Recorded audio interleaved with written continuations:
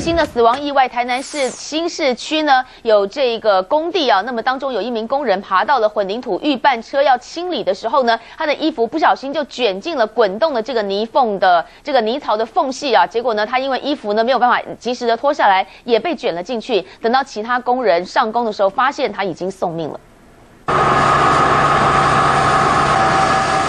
王姓工人的头被卷进半泥槽内，卡在夹缝中。消防队赶到现场，使用切割器把机械切开，试图救人。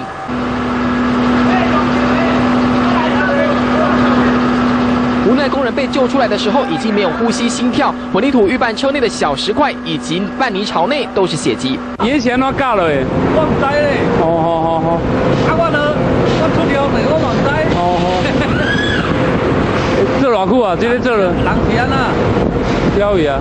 这起意外发生在清晨，王姓工人到工地清理半泥槽，由于车子没有熄火，半泥槽持续的转动，工人在上面清理土石时，厚重的衣袖被卷进旋转的机械内，连工人也一起被卷入。半泥槽有泄气，水冲不干净。对，他清理半泥槽用手去拍，可能在在拍的过程当中，因为泥槽还一直在滚动，不慎衣衣着衣袖啊被卷进去，就算被夹死。由于当时天才刚亮，许多人都还没有上班，等到其他工人上工已经太迟。王姓工人不幸丧生，快过年了，家属必须处理后事，令人感慨。中央新闻赖冠章台南报道。